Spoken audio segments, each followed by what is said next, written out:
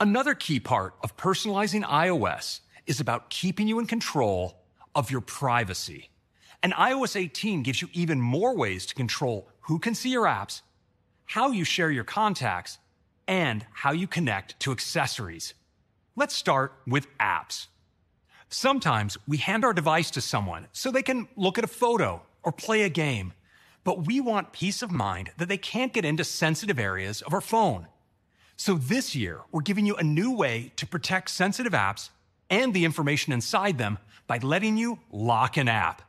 When you choose to lock an app, if someone else tries to tap it, they will be required to authenticate using Face ID, Touch ID, or your passcode.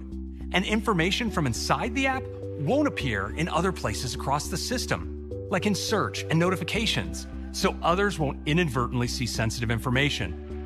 There may also be occasions when you want to hide an app that you don't want others to know is installed on your device. For example, say you use a professional grade spatial capture app to track your different hairstyles. I mean, that's just good science, right? Well, anyway, say you use this app, but you don't want anyone else to know. Well, now you can hide it and put it in a new hidden apps folder that's locked.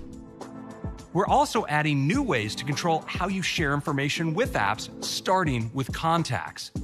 Today, when you give an app access to your contacts, it can learn about all the people you've added over time. In iOS 18, we're putting you in control by letting you decide which contacts an app can see. We're also putting you in control when you pair accessories.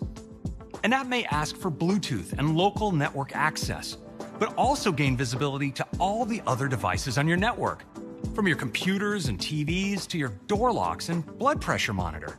Now, developers can offer you an intuitive new way to pair your accessories that keeps your devices private and makes pairing seamless.